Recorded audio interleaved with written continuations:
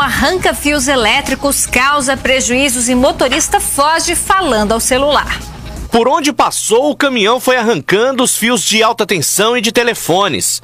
Na Rio Madeira, o motorista fez um estrago bem maior.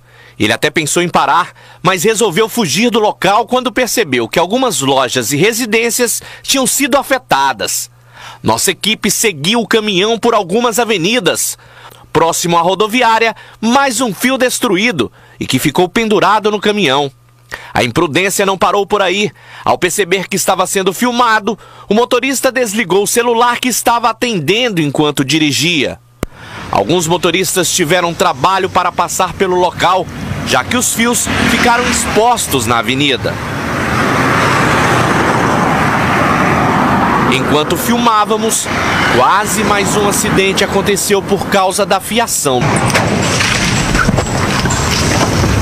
E para não acontecer mais acidente, parte do fio teve que ser retirado ali da rua e trazido aqui para a calçada. E a gente nota que, olha só, o impacto foi tão forte que o poste acabou se movimentando quase três dedos.